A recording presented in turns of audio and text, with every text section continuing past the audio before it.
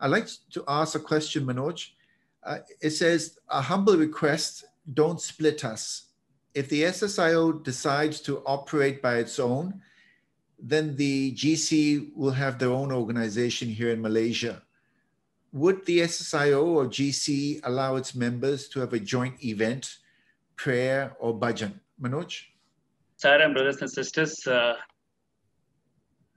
we, we were part of SS, SSIO, those who have joined Global Council. They are our own brothers and sisters. From SSIO, there is no restrictions for joining bhajans or joining activities, unless the Global Council puts them that no, you should do different activities. Problem is that it is more beneficial if we do with SSIO because we have already projects lying in our in our coffers and we are doing it more collectively.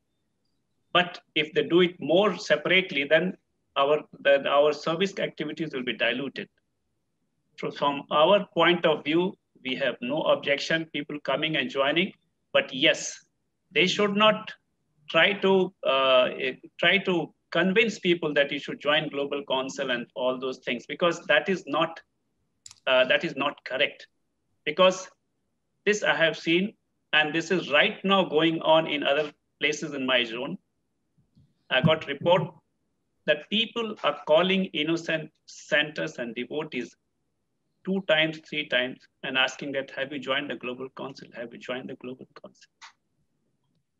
My contention is that when people were with us, if they were with us, why, if they want to follow a, or follow something different, they are welcome.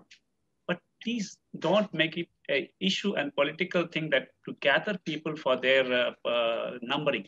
It is not a political organization, it is a spiritual organization where we work voluntarily. Even if we get the numbers, it doesn't matter because finally it is a spirituality which will which will a deciding factor where people will go. So these numbers are not a thing which we have to order.